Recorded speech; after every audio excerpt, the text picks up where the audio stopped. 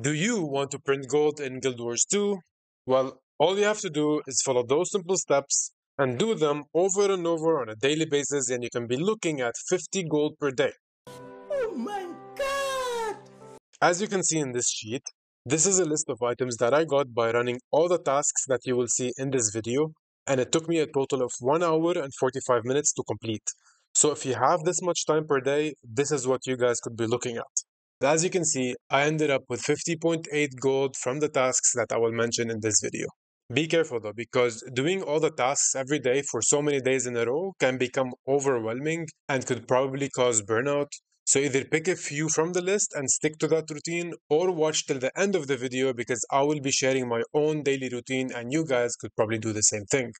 I also won't be mentioning things that would require a properly organized group to get, like uh, strikes for example, but rather I will be listing things like fractals, where funny group is fairly simple. Okay, starting off with number one is Daily Wizard's Vault. Now that we have five objectives and we should only complete four out of the five, we have a bit more flexibility when it comes to completing the Daily Wizard's Vault. So go ahead, do those, and get your first one gold for the day. This is very important as you can also use the Astral Acclaim you get from the dailies and weeklies for that matter, to get rewards worth a good chunk of gold from the Wizard's Vault. Alright, Dragonstorm is an event that happens every 2 hours and can be accessed from Eye of the North. Completing this event will give you 2 gold flat and 6 memories of Aurene, which can be sold in the marketplace for around 1.5 to 2 gold, and you will also get some loot that you can still sell and make some profit out of. While still in Eye of the North, just like Dragonstorm, you have the Twisted Marionette that happens just one hour later. It can be accessed from the same place in Eye of the North and will also give you some loot that can be worth 2 gold and another 2 gold flat. Okay, Tequatl is the boss that spawns south of Sparkfly Fen.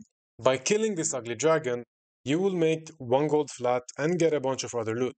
As this boss spawns in different timings, you can check out the time that he spawns on either the wiki or xguiders.com I will leave a link to that in the description below.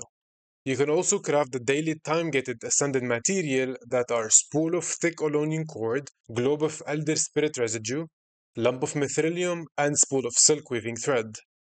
If you have the additional resources, you can also craft the sellable items like Spiritwood Plank, Elonian Leatherwood Square, Deldrimor Steel Ingot, and Bolt of Damask.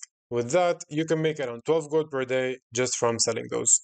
If you don't have the necessary resources though, then just hoard the initial items or use them to get provisioner tokens if you need this currency for legendary runes, sigils, or the new obsidian armor. Now, one thing to note is that you should always charge 25 quartz crystal to create a charged quartz, the way this works is all you have to do simply take 25 quartz crystal to a place of power on a daily basis. This item is not a direct source of gold, but it is extremely useful to do daily as you can use it to craft different items that will give you a decent gold return on the long haul.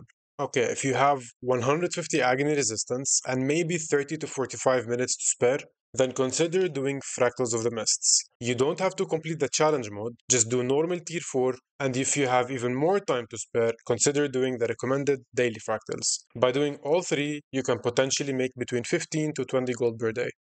Okay, so the next method would be daily gathering.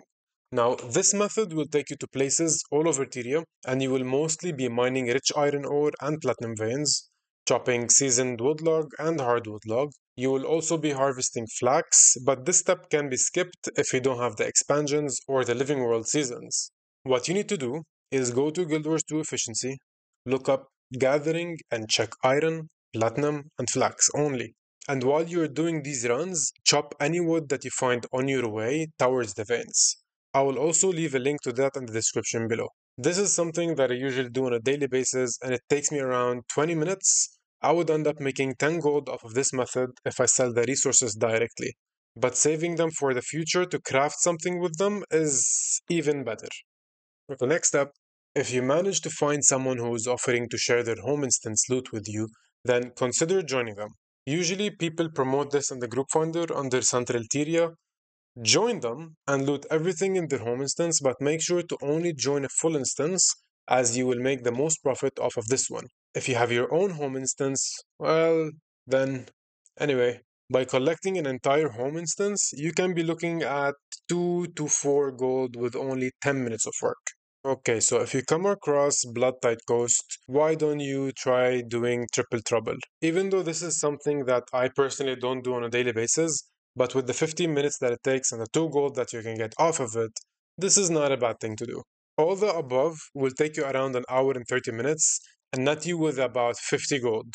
Now, obviously, there are so many more things that you can do, like the daily Echovald Wilds Jade Runestones, jumping puzzle parking, and much, much more but I don't want to turn this video into a 30 minute one and just keep it simple. I will, however, mention a few more weekly things that you can do slowly throughout the week. You should definitely do the weekly Wizards Vault objectives for 500 plus Astral Acclaim per week. Also, consider doing the weekly End of Dragon Strikes. This will net you between 12 to 16 gold. If you already have Secrets of the Obscure, then consider doing the weekly Rift Hunting achievements for the Essence. If you don't plan on crafting the legendary obsidian armor, then you can craft motivations and sell them for a decent amount of gold at the trading post. If you're not sure how, check out this video.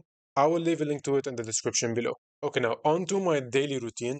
From the list, I would usually start off with the daily Wizard's Vault, craft ascended material, and then do the charged quartz.